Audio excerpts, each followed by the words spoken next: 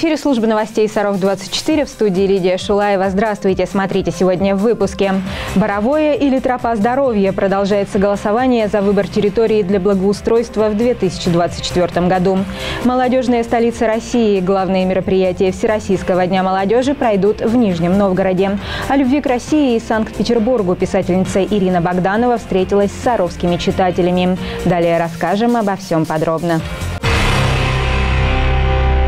Более 550 общественных пространств благоустроили в Нижегородской области с 2019 года по проекту формирования комфортной городской среды. Это места, которые жители региона сами выбрали на голосовании. Сейчас идет выбор объектов благоустройства на 2024 год, и каждый голос имеет значение. На сайте fkgs.голосза.ру можно изучить концепции благоустройства и выбрать из списка одну территорию, которая должна быть благоустроена в первую очередь.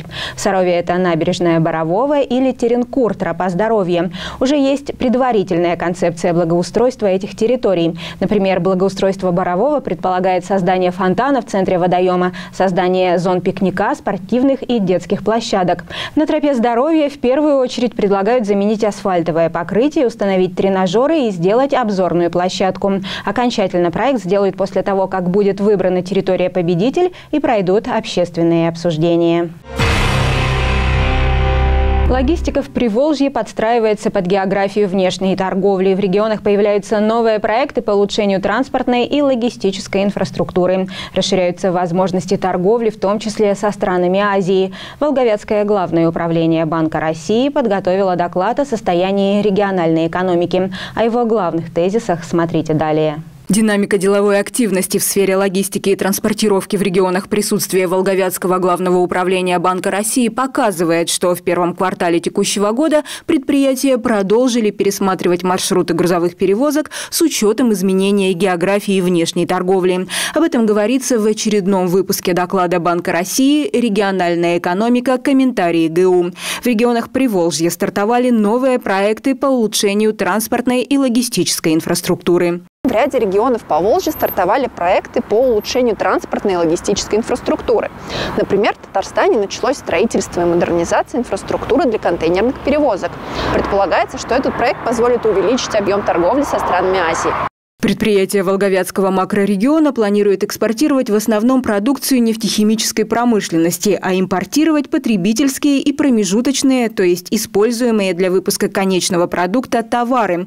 Также бизнес продолжает работать на улучшением инфраструктуры в сфере интернет-торговли. В начале весны стало известно о планах построить в Нижегородской области крупный складской комплекс для обработки и хранения заказов одного из онлайн-ритейлеров. А другой российский ритейлер начал работу по расширению складских мощностей своего логистического центра в Татарстане. Информацию о других тенденциях в экономике регионов России можно найти в докладе «Региональная экономика. Комментарии ГУ». Важный источник сведений для доклада – мониторинг около 14 тысяч нефинансовых предприятий. Это позволяет получить оперативные данные о развитии отраслей экономики во всех регионах страны. Доклад рассматривается руководством Банка России, в том числе и в ходе подготовки к принятию решения по ключевой ставке. Предпринимательство в лицах. Фотовыставка, которая пройдет в нашем городе ко Дню российского предпринимательства. ЦПП приглашает принять в ней участие бизнесменов и самозанятых.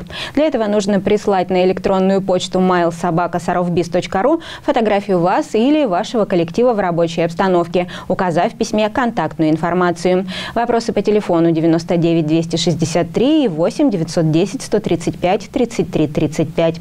Другая важная информация в подборке коротких новостей. Жители обязаны будут впускать в квартиры сотрудников газовых служб для техобслуживания и оборудования. Его специализированные организации обязаны будут проводить ежегодно. О дате и времени работы они должны уведомить жителя заранее. Кроме того, они обязаны проинструктировать жителя, как безопасно пользоваться газом и передать ему инструкцию. Если выявлены нарушения, то подача газа перекрывается. Оплачивать проверку газовой плиты полагается в течение года. Плату разделят на 12 месяцев. Если газовщики прибыли на место, согласованное с время, но их в квартиру не впустили, заказчик по договору должен оплатить стоимость выезда сотрудников.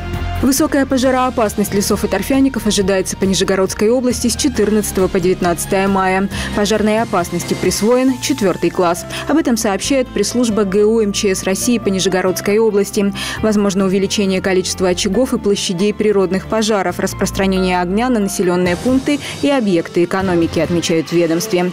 Представители ГУ МЧС России по региону рекомендуют быть предельно внимательными в этот период и соблюдать правила пожарной безопасности. Граждан призывают призывают не жечь мусор на дачах, а также вблизи леса, не разжигать костры в лесу, не оставлять на открытой для солнца поляне бутылки, стекло и другой мусор. На этой неделе жители Нижегородской области ожидают потепления до плюс 25 градусов, обещают синоптики Верхневолжского УГМС. В Сарове потепление ожидается со вторника, и к четвергу температура достигнет плюс 26 днем и плюс 11 ночью. Будет облачно, осадков не предвидится. Напомним, по словам начальника отдела метеопрогнозов Верхневолжского УГМС Ольги Макеевой, предварительный прогноз на май не сулил никаких серьезных скачков. Но есть дни с контрастно низкими температурами, с заморозками до минус 5 или жарой до плюс 30. В целом, обычно май очень неустойчивый и капризный месяц с разбросом температур от минус 7 до плюс 34 градусов.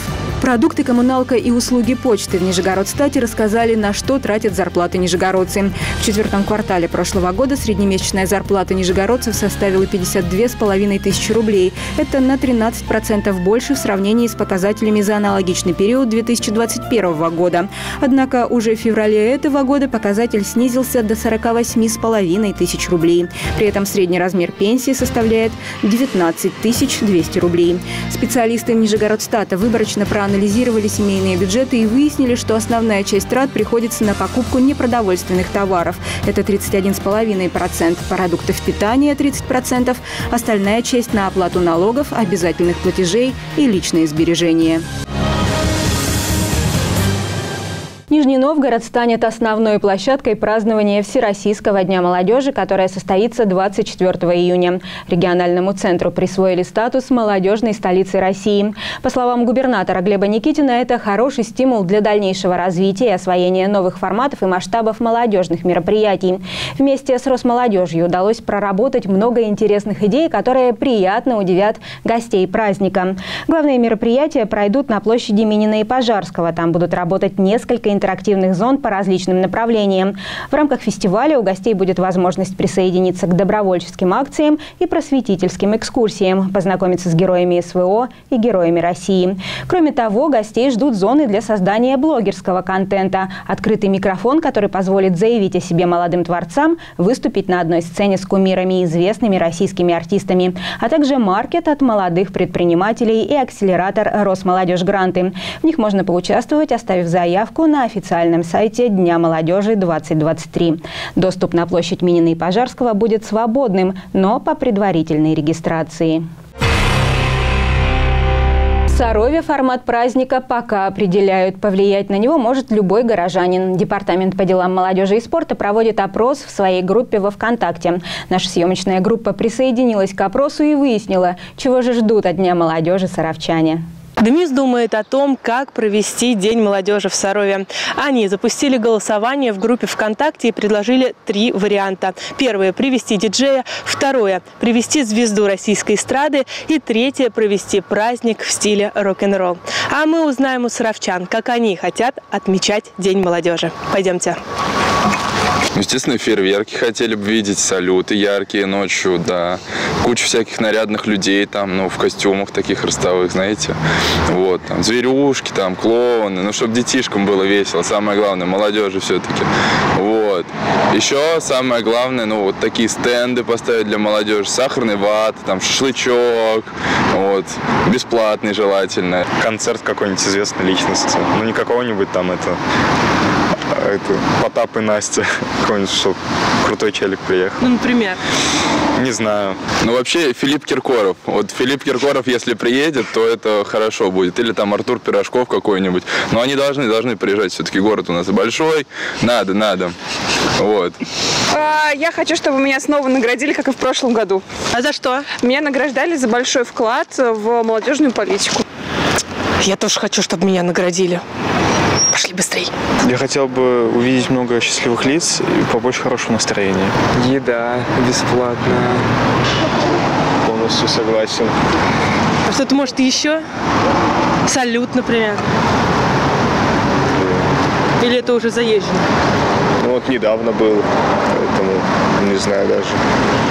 Ну, может быть, какие-нибудь квизы, что-нибудь такое прикольное. Пар бы не было, хорошо было бы. Детские какие-то развлечения.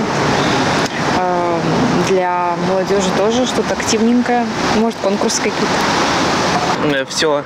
Что именно? Именно все. Ну, например, там, может быть, э, какие-то квизы, там, квесты, я не знаю, Да. салюты. Именно это. И все? Да, Какой-то скучный. я знаю. Ну, какую-нибудь дискотеку. Например, пьяную вечеринку?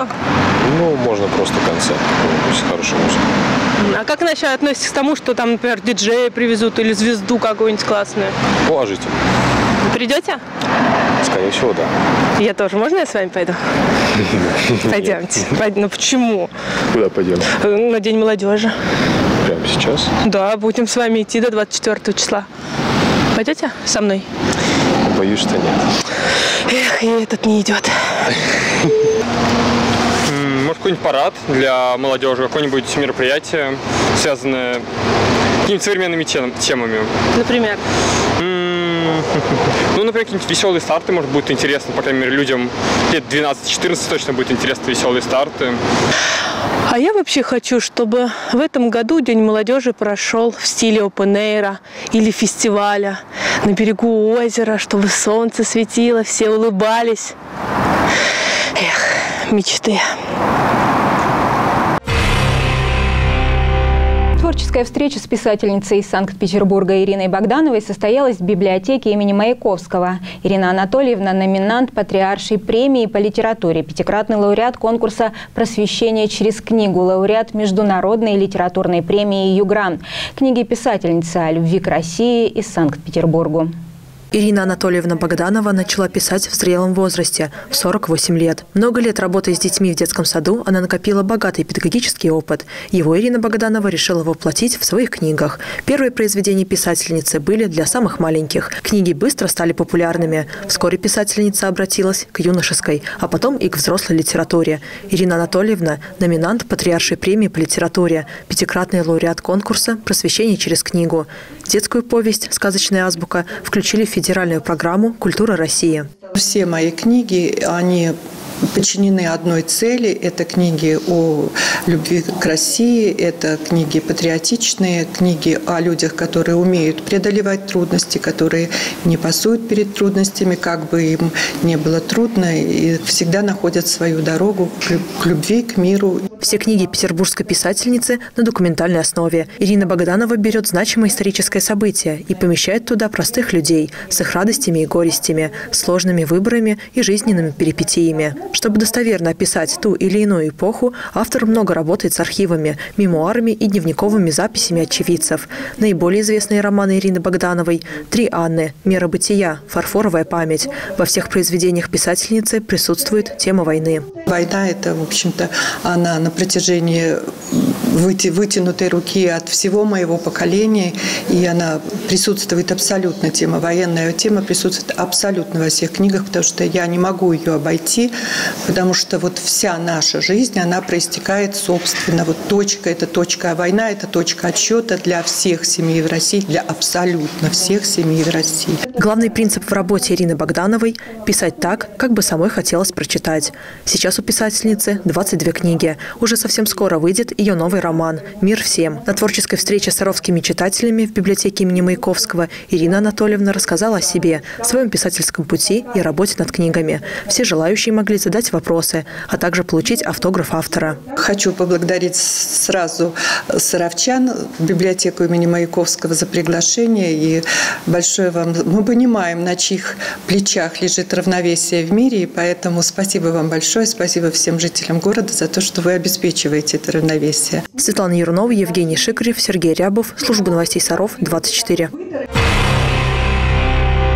И это все, о чем мы успели рассказать вам сегодня. Следите за новостями города в группах канала 16, в социальных сетях ВКонтакте и Одноклассники. Там же вы найдете все информационные выпуски и авторские передачи. В студии работала Лидия Шулаева. Всего вам доброго и хороших вам новостей.